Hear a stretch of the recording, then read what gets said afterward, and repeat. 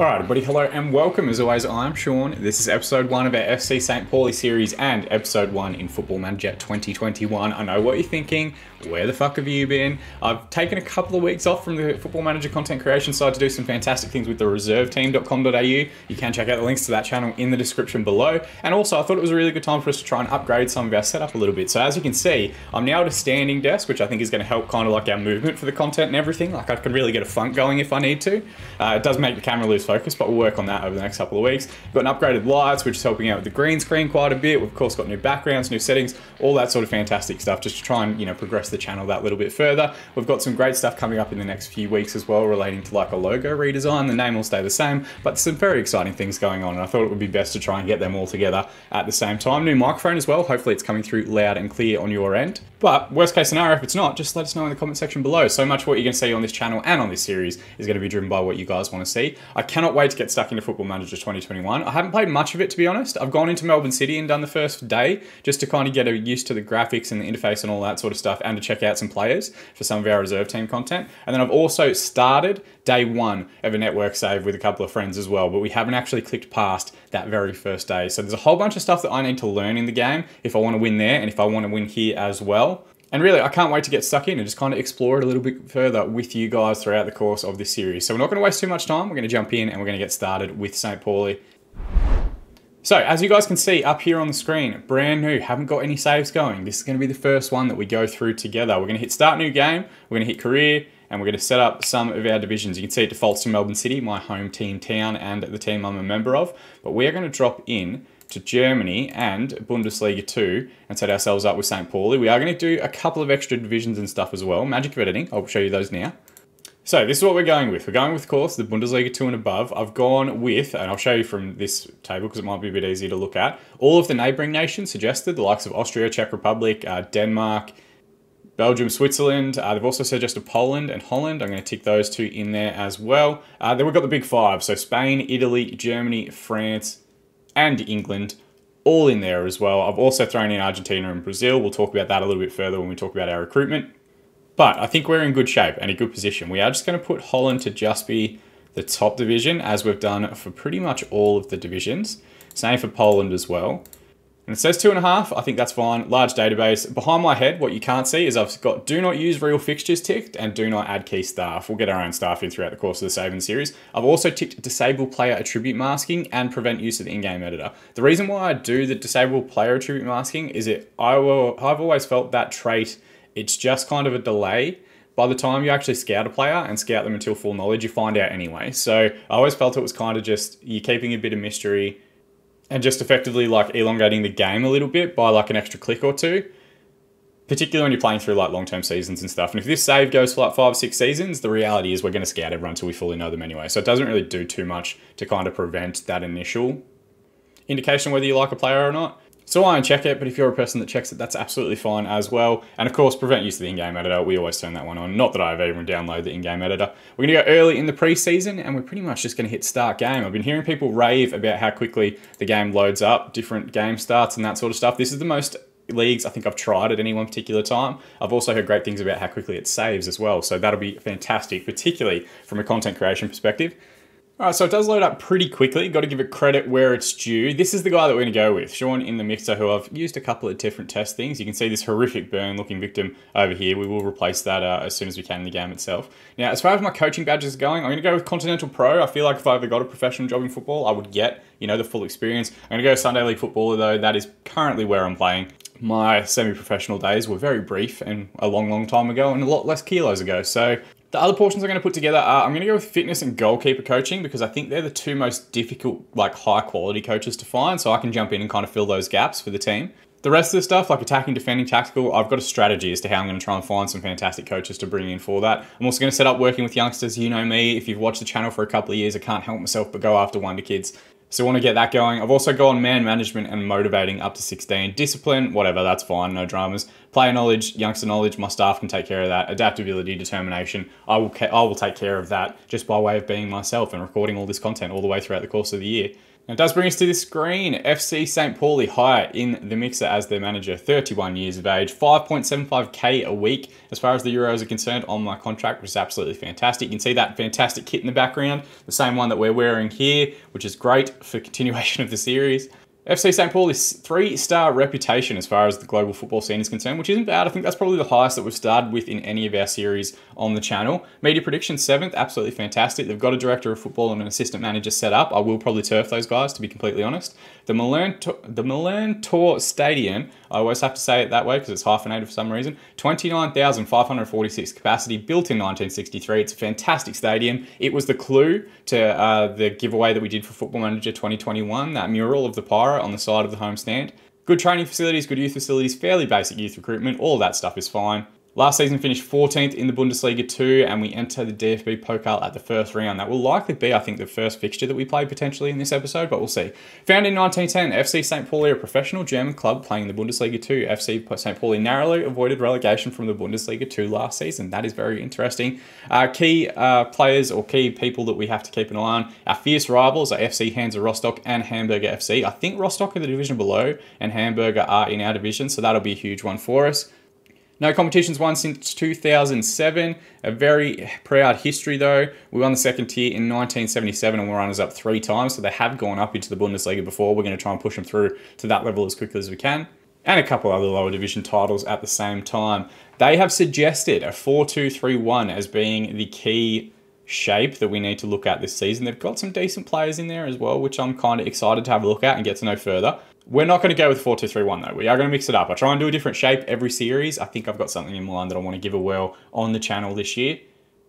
Expectations for the season. Sign players under the age of 23 for the first team. Absolutely perfect. That's kind of what I want to be doing anyway. We'll talk about transfer targets in a little bit. Work within a wage budget is required. Sign players to sell for a profit. Minimum two-year contracts for first team players. Bundesliga, finish in the top half. Perfect. DFB Pokal, reach second round minimum. And then the future, uh, I've got another year on my deal which is fantastic. And they just want us to continue finishing in the top half, which is perfect. It's going to give us time to try and, I think, bring in some younger players. We'll talk about them further in a minute. And then also, you know, kind of build the team for the future so we go up into the Bundesliga in a really good position.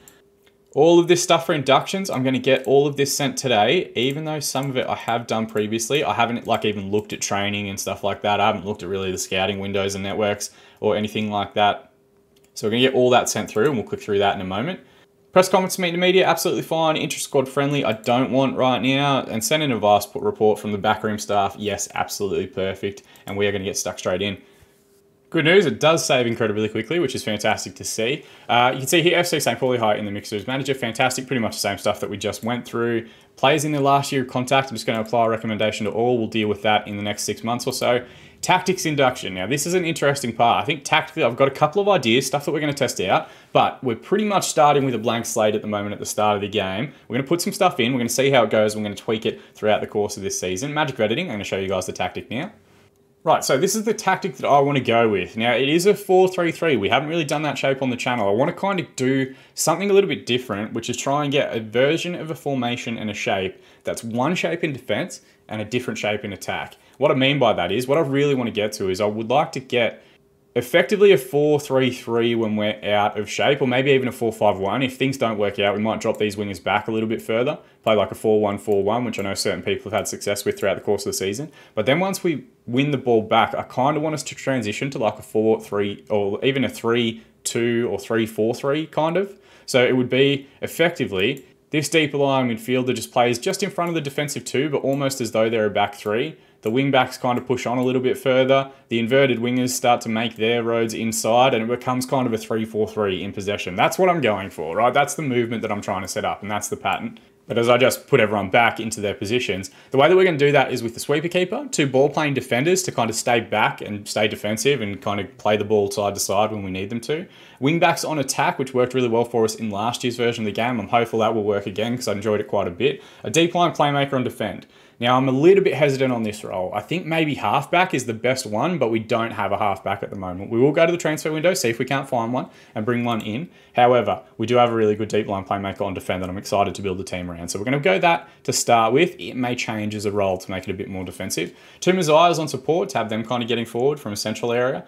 Two inverted wingers to push into that area, that number 10 position. You can see we've created a pocket of space here with nobody in it. I want to have players break into that space or cutting inside to it. Of course, the inverted wingers cutting inside and the wing backs on attack, looping around the outside of them. That's absolutely perfect. And an advance forward. I was kind of toying with the idea of going for pressing forward, but I think there's a couple of young players that we want to go after that are probably better suited to the advance forward role, which works perfect for us. Now, I've created this tactic with a couple of things I'm not super confident on, slightly shorter passing I'm not 100% clear on. We may just go back to slightly more direct if it doesn't work out, but for now, slightly shorter is fine. We are playing with a Paulie Preston. It's a little bit more aggressive in terms of where we win the ball back. I think that always suits really well in lower division football in particular. If we go up, potentially we do drop line back a little bit. Potentially we do drop our urgency down a little bit more. We'll see how we go. So I've got this version, and then I've got another version which is going to be our possession instructions, which is basically more of a balanced shape. We drop back a little bit deeper. It's still aggressive in where we want to go and win the ball, but the defensive line starts a little bit lower. And it's also a little bit lower a tempo, a little bit shorter passing. This is kind of like the last 15 to 20 minutes of a match where we just want to keep possession and we want to keep the ball away from the opposition team. I don't think we did that well enough last season, even in FC Isle of Man, where we had a really good tactic at the end of the series. I don't think we closed out games that well. So I'll be very interested to see how this one plays out. We're going to go attacking as our default pretty much every game, I think, particularly while we're in the second division. And then that possession instruction, that's really how do we control the game now for the last 15, 20 minutes. We might even, for that last period, drop these guys back to be like a classic 4-1-4-1. We'll see how that goes in the next couple of weeks and how we uh, actually want to continue playing throughout the course of the week. Back to our inbox, club vision and expectations. This stuff's all fine. We're not worried about that. Pre-season preparation, no problems at all. I will get my assistant doing that shortly. All these friendlies that you can see, we're going to get rid of them because I want to set up my own friendlies and we're going to try and do something a little bit different, I think. Squad selection rules all look pretty straightforward, which is fantastic. We must have eight players trained by a club in Germany, no problems there. Four players trained by the club itself, St. Pauli, that's no problem. And squad must have at least 12 German players. That's all pretty straightforward and pretty easy. German transfer window stuff, none of it really relates to us. Scouting center. This is one that I think we're going to come back to in a future date because we're going to set up, I think, a bunch of different scouting targets and maybe put a shortlist together and then we're going to have a look at the scouting induction. So we'll come back to that later. Transfers induction, I think this is all pretty much straightforward stuff, but it is a good chance for us to update some of our responsibilities. So I want to find all the young players for the team. Scouting center, can go to the backroom staff. If we have a chief scout, they can do that. Scouting meetings, I'll do for the moment. We might hand those over as well. Training induction. This is one that I do need to pay attention to. So I'm going to go with first team. I'm going to hand over the, to my assistant once we eventually sign one the general training. We're also going to keep individual training and then I'm going to let the general training for the youth squads go with my backroom staff. That's absolutely fine. We'll put that together. Team report induction. Excellent. This is what we want to see. Crossing's a good strength. Fantastic. We've got uh, creativity running through the wide players. Concentration's pretty good. Player partnerships are good. Youth prospects are good, so there's a few different players that they've highlighted as being players that we could look to for the future, which is fantastic. Smart squad, technique's good, goalkeeper depth is good, defender depth, long shots, marking, passing, vision, those are things that could be a little bit improved. Our weaknesses is our transfer budget. That's fine. I'm going to sell a bunch of players. We're going to make cash that way. Natural fitness isn't great. That's okay. I'm an excellent fitness coach, as we saw me set up earlier. Determination and overall depth, not that great. So there are some things that we do need to improve a little bit in the transfer window. We'll talk about that once we get to like our transfers in.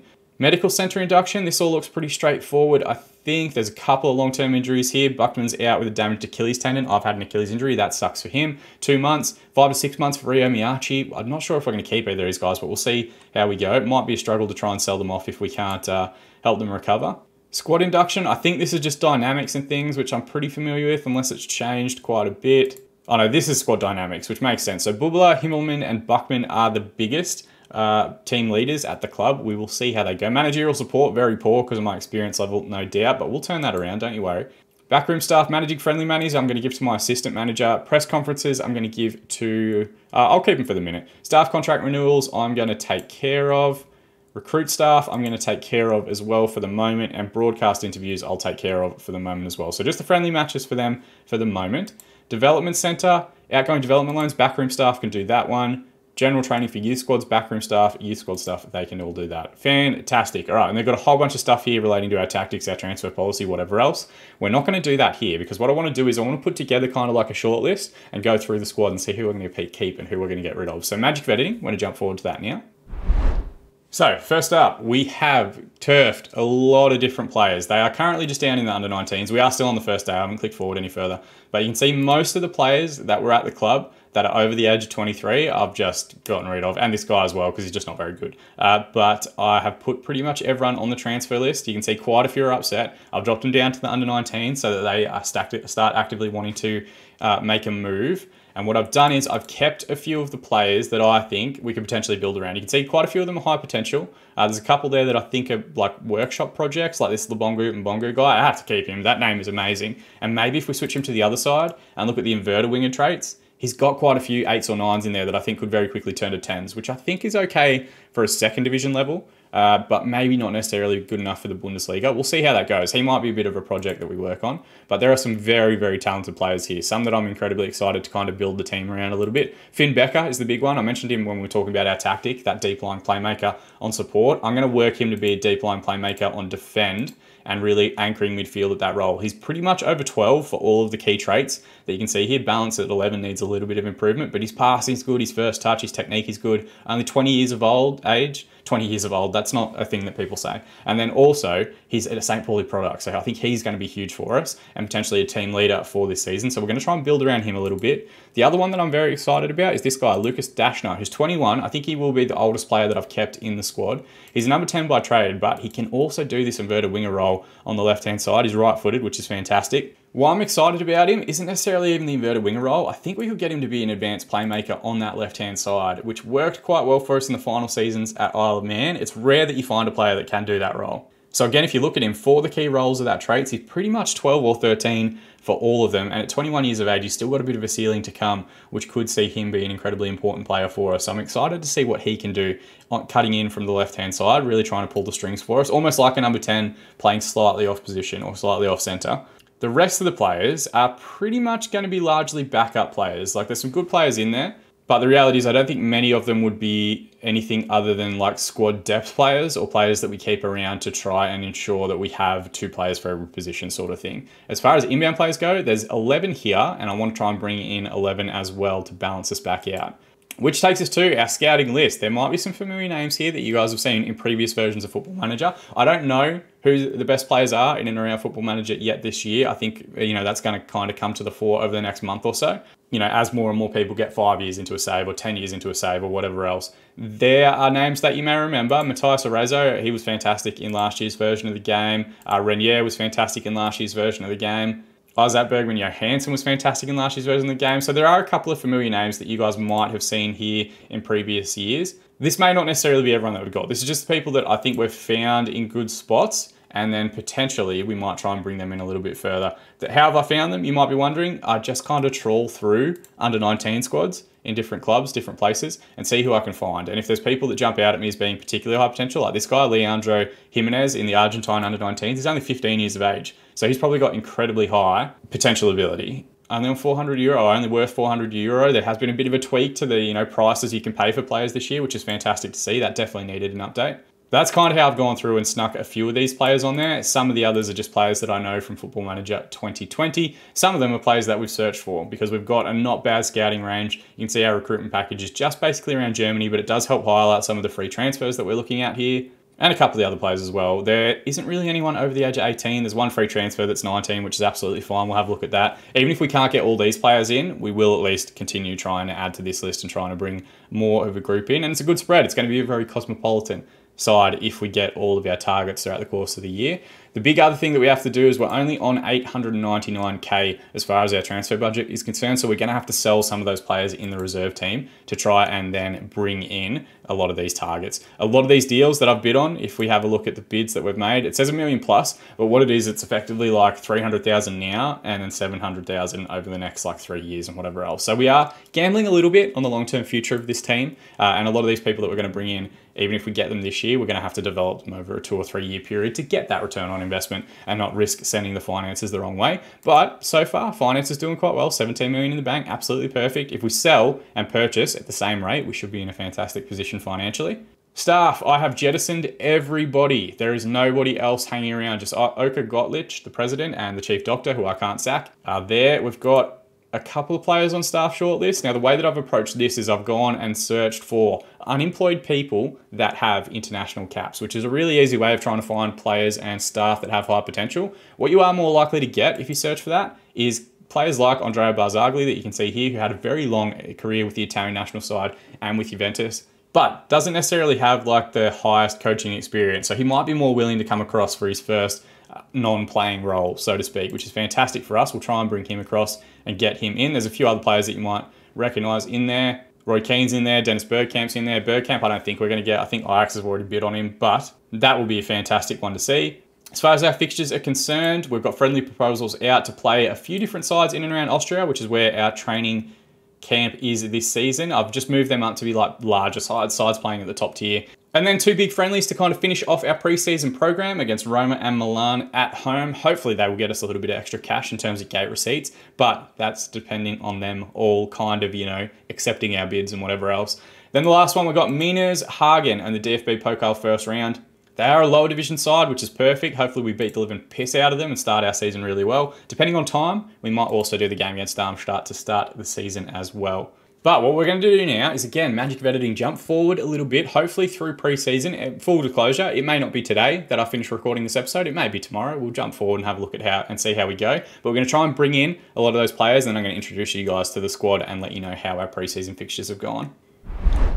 All right, and just like that, we are a fair chunk of time further ahead. Full disclosure, I've recorded all the way through, so if I start kind of like drooping down a little bit here at the standing desk, by all means, uh, tell me to get my shit together in the comment section below.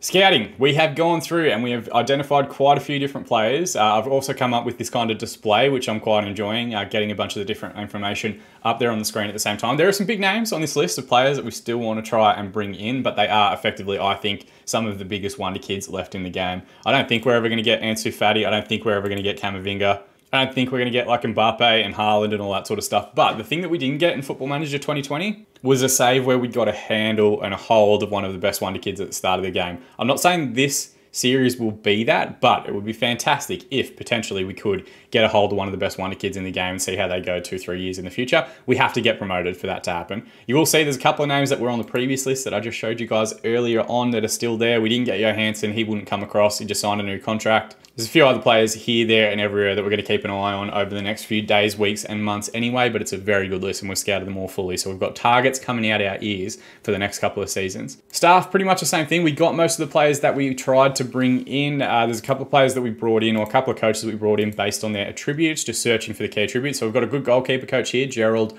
Ehrmann. He looks to be quite, quite decent, which is fantastic for us. Bartek Zilstrak, I'm going to go with uh, which is probably butchering the pronunciation. Apologies to any of our Polish watchers or viewers listening along. He looks fantastic. We brought him across from Brentford, uh, and he's got very good technical and attacking coaching, so perfect. We needed to coach in that area. As far as the ex-professionals are concerned, uh, Roy Keane is my assistant manager, which is hilarious. Paul Robinson, David Villa, Ricky Sbragia, who I think was a coach at Manchester United back in the day. He was indeed under 23's manager before getting the sack.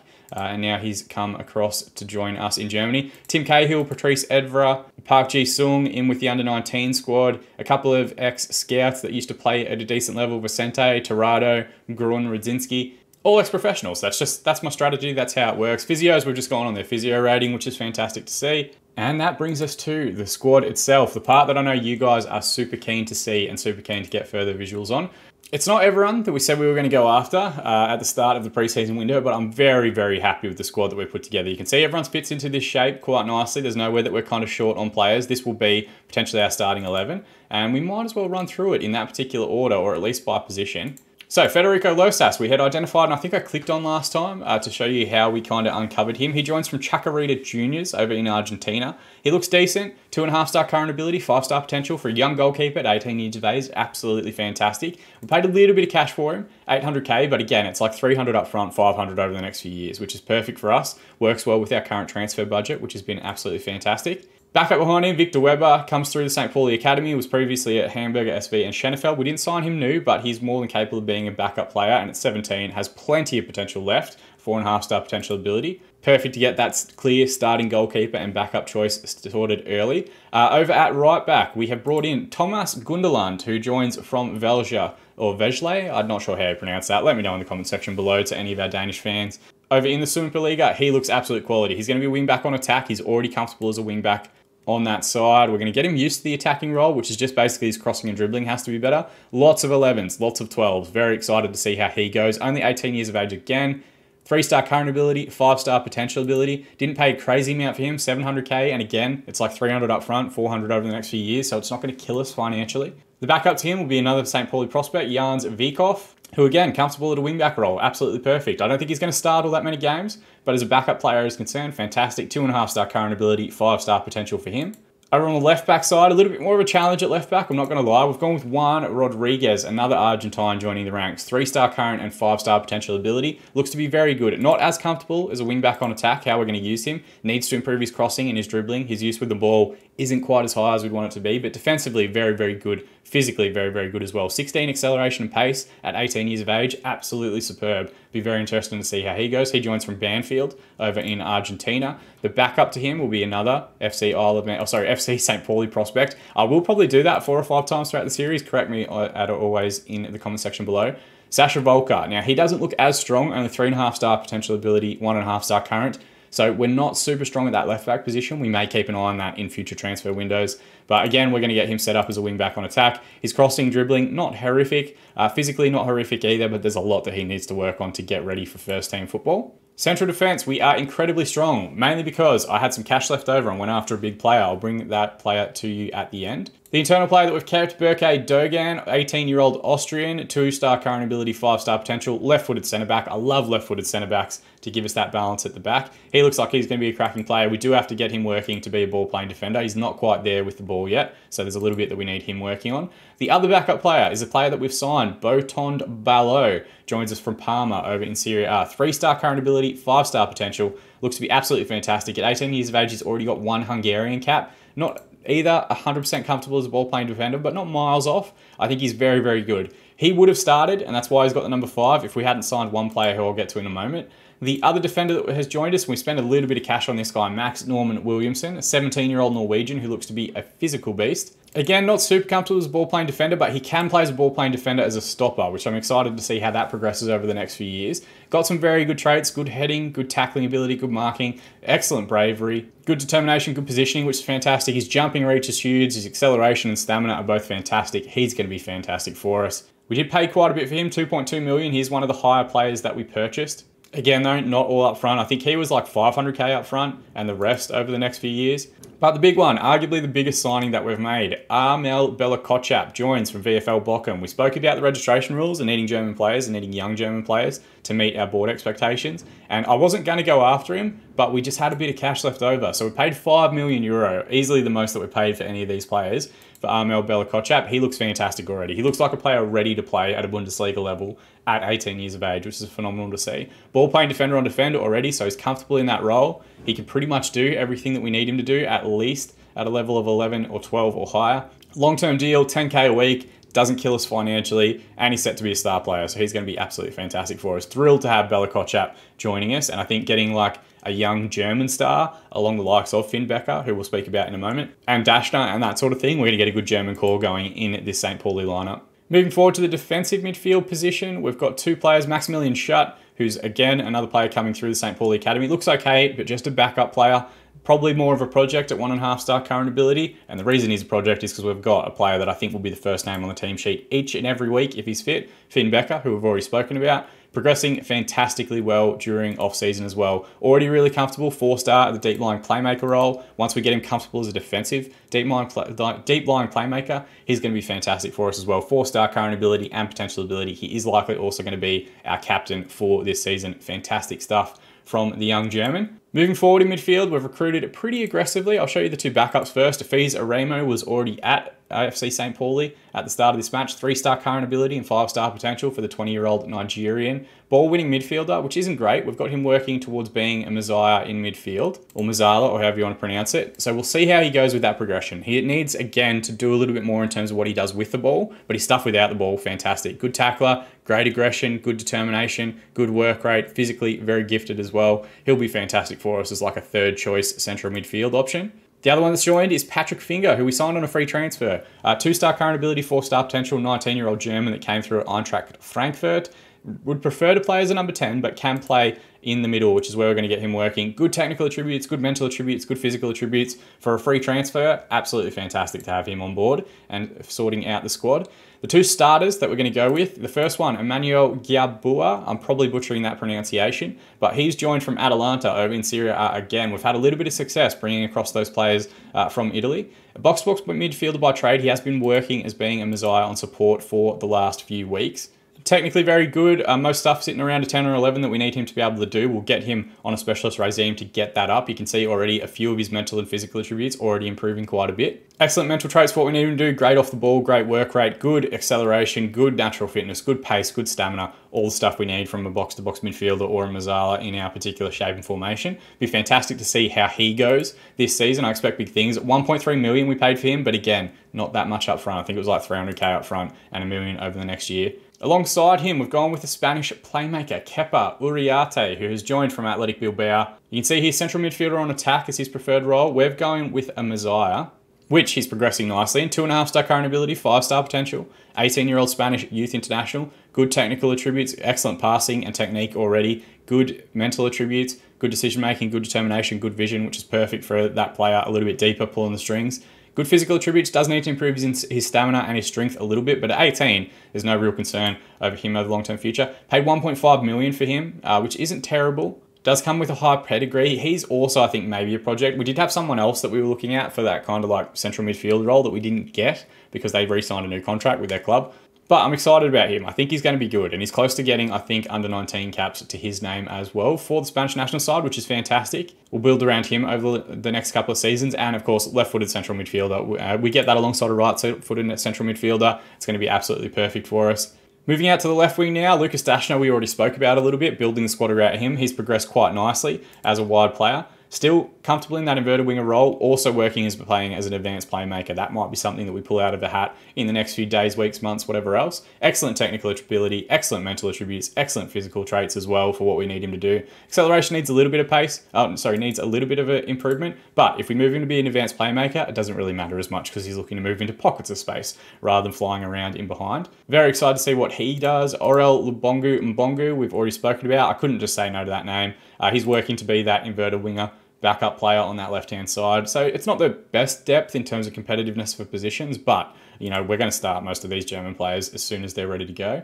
Over on the right, we had a little bit more of a struggle, to be completely honest with you guys. So we've made a free transfer signing. Dion McGee joins from, after playing at Manchester United, being released from his contract. Left-footed player on the right-hand side. I love that he's going to be cutting back in on his favoured foot. Perfect for that role. But only two-star current ability, four and a half star potential. So he's not the highest of the tiers as far as players that we could bring in for that position. And some of that was due to player availability. There just weren't that many players that we found for that right wing role. But time will tell. He could surprise us. He does have some good tra- good traits. I think he's the better of the two free transfer signings that we made. He's on a couple of year contract and he is English. So even if we just put him back on the transfer list, I guarantee someone from like League Two will come forward and want to purchase him. He is also an advanced playmaker by trade. It will be interesting to see. Maybe we go two advanced playmakers on each wing. I don't know. That's something for the future. We don't have to worry too much about it right now. The backup to him will be Mori Bamba, who actually joins us from Roma.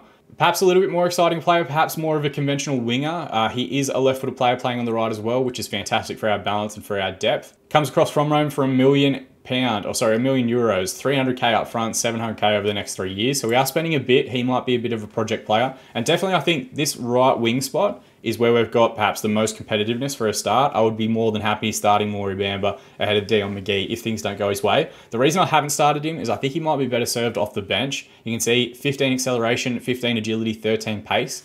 Doesn't have the best stamina though, only 8 and only 6 for strength. So if he comes on with the last 20 minutes to go in a game, That pace is going to help buy him space and going to help us quite a bit unlocking tired defenses.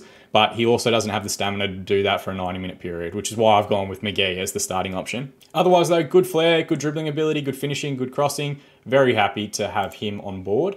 And that does take us up front where we've got two, I think, very exciting players. Ariston Akame comes through the Youth Academy at FC St. Pauli. One and a half star current ability, three and a half star potential. Not the best in the world, but you'll see why I'm comfortable with that in a little moment. He'll be the backup player, can play on a wing if we need him to as well, so good versatility off the bench. The starter that we've gone with is Louis Carbonell, 17 year old Spanish youth international that joins us from Zaragoza. Cam plays a false nine, which is what immediately attracted my eye to him, but we're going to start him as an advanced forward, get him comfortable in that role, and see how he goes. He has got most of the key traits for it. If it doesn't work out, we'll switch him to a false nine, just see how that goes in our shape and structure. But very good dribbling, first touch and finishing, very good passing and technique for a player so young. Very good mental attributes, very good physical attributes, two star current ability, five star potential. I'm incredibly excited to see what Carbonell can do. But that isn't everything because we've got some players that are going to join us in the future that we have picked up. And full disclosure, I signed them kind of accidentally and then realized that they weren't actually going to join until a year in advance. The first one is Reinier, who joins to play on the right hand side of midfield. 17 year old Brazilian, he doesn't actually join us until the 12th of the 7th, 2021. So we're not going to see him season one, but season two, very excited to see what he's got planned for us. He looks like he's going to be an absolute beast as far as players on that right hand side is, are concerned. So maybe that right hand side position, we're just trying to get through this year, and then we're going to bring in some more depth and some higher quality in Reinier. And then the other one, Matías Arezo, he actually joins us in January. So we give Carbonell six months to see if he can improve and get to the position of being a starting striker. And then we've got Matías Arezo joining us, who is an absolute beast. We didn't pay that much for him either. 2.5 million, I think, is very, very reasonable for a player of his quality and of his potential. The 17 year old Uruguayan, 16 heading already, 14 finishing, good composure, good determination, good off the ball movement, excellent physical attributes as well 16 stamina, 15 acceleration. Yes, we're going back to the well. Yes, we're going back to a player that was very good in FM20, but I'm very excited to get him across and have him leading the line for us from January on. But really, it's up to Carbonell. If he can go and make that position his own, that starting spot, I don't see any reason why you can't keep a hold of it. Now, we do have a couple of knocks, a couple of injuries. Our preseason results have been largely negative, to be honest, but that is mainly because we had so many players out. You can see even these games here that we played uh, during our preseason training camp, the results weren't fantastic. And that's because we're playing with largely the backup players. We hadn't signed a lot of the players that are going to be part of the starting 11. Once we started getting those players in, we started to improve a little bit more as well. And most recently, we beat Milan 3 2 in our final preseason friendly. Absolutely fantastic. I haven't been coaching any of these, by the way, either. It's been our assistant manager, Roy Keane. But Aremu getting on the score sheet, Daschner and Langford, fantastic stuff from them. And yeah, it's preseason results. I'm not too worried about it. We're going to see how we go in this actual game and this actual contest to uh, see how the match and how the squad is put together. Couple of knocks though, so we are going to rotate just a little bit. Finn Becker's not going to start, which is interesting. We'll see how that goes. I'm going to put in Aremu as the deep line or deep defensive midfielder for this first one. We might switch him to be a ball playing defender or a halfback, which I'm very excited to see how that one works out. I just don't want to risk Finn Becker. It's going to be a long season. We're not going to worry too much about forcing him through too much football in the early part of the season. Otherwise, though, we are at pretty much full strength. It's just that one spot, and he is our captain, so it is a big loss, but uh, hopefully we can get through to the next round of the DFB Pokal. So it just occurred to me as I was clicking through, we're not going to get the same like screen that we usually cut back to, which is the lineup screen because it's changed again this season. Uh, but there are some cool things that you see in your match day squads now. There's a few players that are ready to go in terms of the tactical instructions because they've been playing with this all throughout preseason. Team selections, there's a few people that are happy. Victor Weber, Morris Grosh, Machat, Salazar, Bamba. Bamba's probably the biggest name that's unhappy with being left out. We might bring him on for Dion McGee and see if that keeps him happy uh, for the next few days, weeks, months, whatever else. Now, I've seen this a couple of places on Twitter, this new team sheet lineup. I'm going to be honest, I don't like this. I wish it was the old one. I like That was the one thing that I liked. I liked that it had that kind of TV display to show you the teams and the lineups and the shape. I think that helped quite a bit. But, you know, whatever. They've made that decision. We've got to stick with it now for the next 12 months.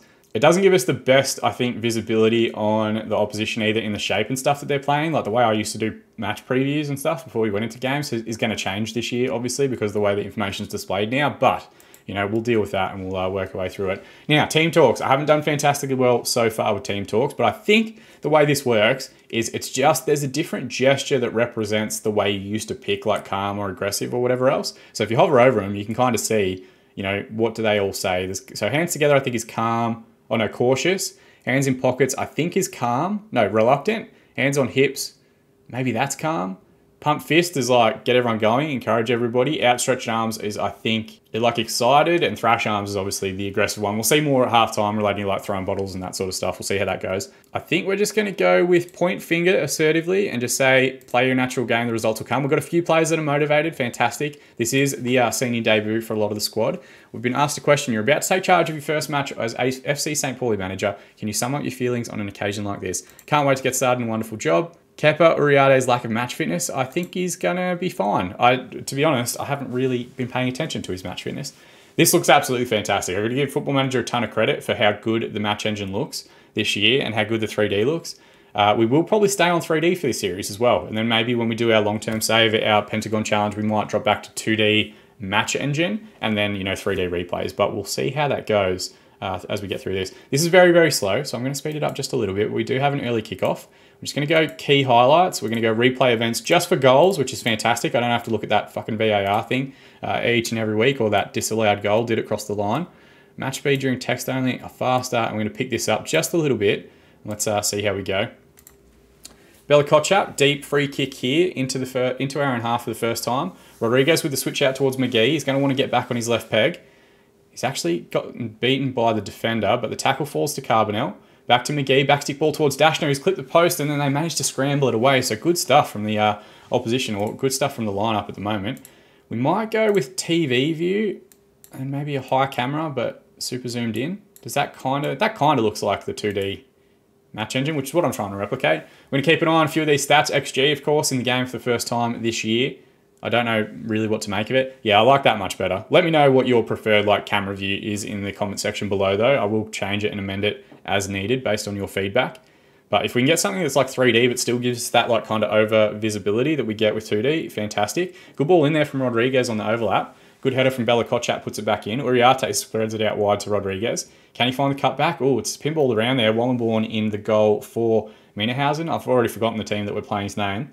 McGee's going to take the corner. Wraps his left foot around it. Backstick ball towards Carbonell. Good header, but just over the crossbar. Also got to keep on an eye on conditioning a little bit differently. We've got to have a look at these hearts and the colours that they represent, which is just, let's be honest, like the percentages still exist. It's just a different way of displaying the information that was already in the game, which is quite, I think that's a lot of the things that they've changed this match. Oh, hang on, here we go. The team's gotten in behind. We've conceded to a lower division side. This is not boding particularly well for our St. Pauli career. We can use a shout though, so we're going to go demand more, entire team. Let's see how they respond. It's the first highlight we've seen from them.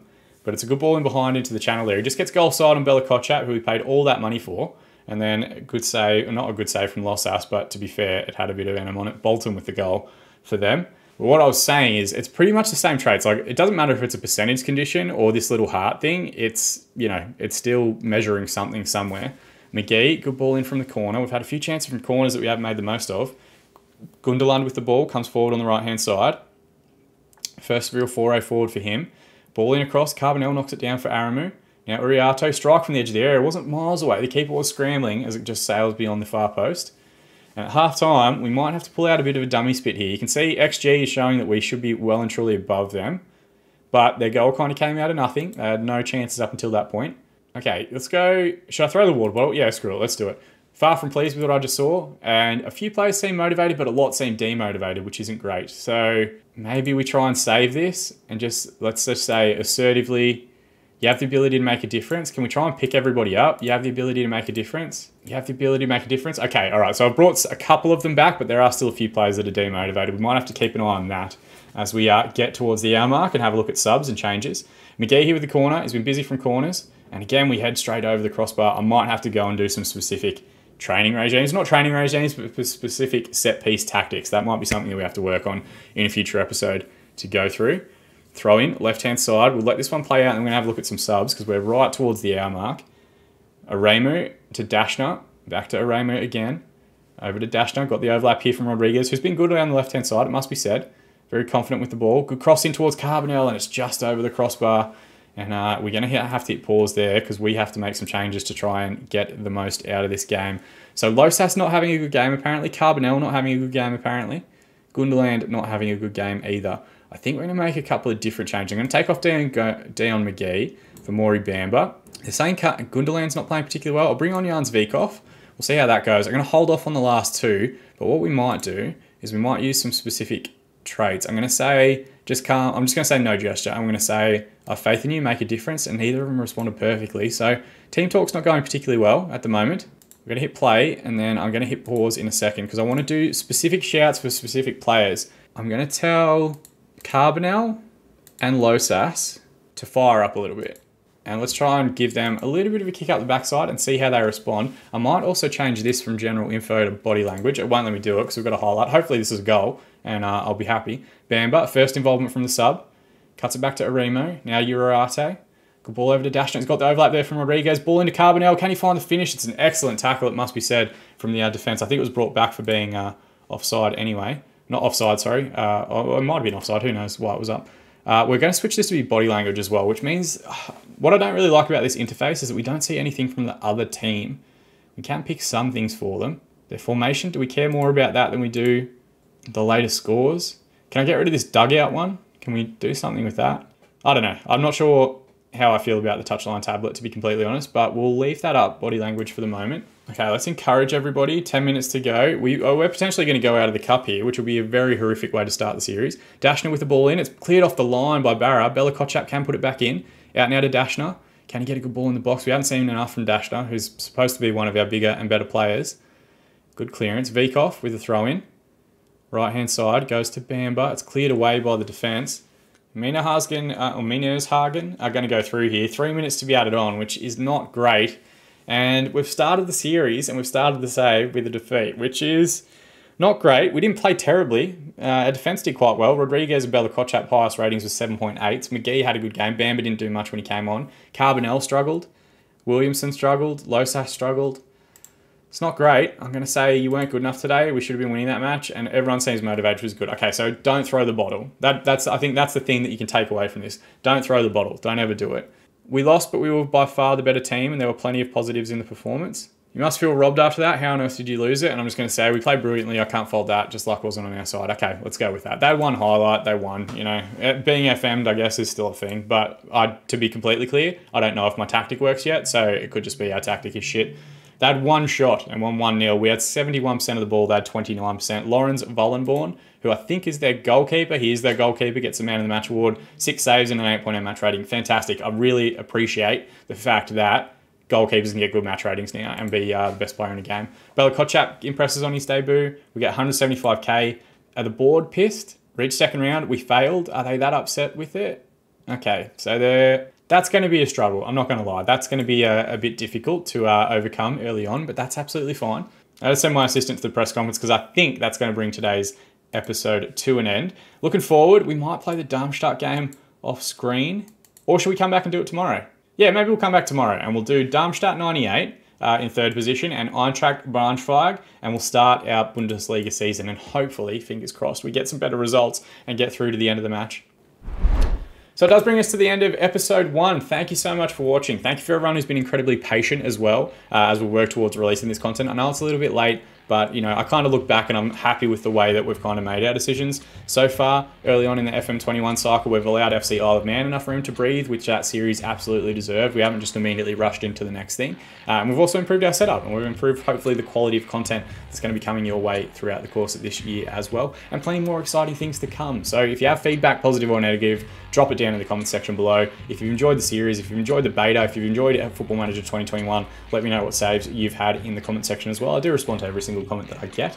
And if you want to help celebrate the start of Football Manager 2021 content on the channel, you can drop a like on this video. You can also subscribe to be kept up to date on all of our future videos as they release all the way through the course of this year and well into 2021 also.